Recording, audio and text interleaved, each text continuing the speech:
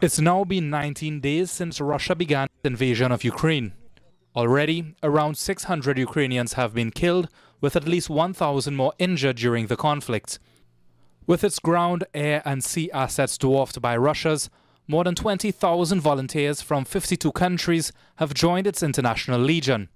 In two weeks, Trinidadian Brian Stone intends to be among those who hope to tip the scales against Vladimir Putin.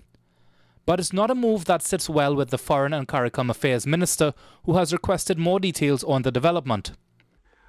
What I saw was very disturbing to me. For him, it's reminiscent of previous instances of citizens leaving to fight in other international conflicts.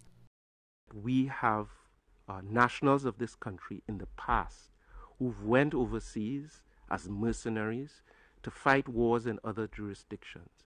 And that is currently an international conundrum and nightmare for some of these individuals and the host countries. He advises people to reconsider such a move, which can not only harm themselves, but also Trinidad and Tobago.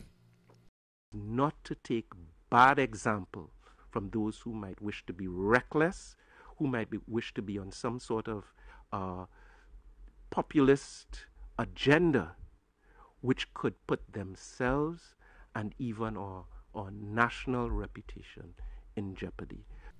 He says Stone's decision is not one that should be applauded or encouraged in any way. Rishard Khan, CNC3 News.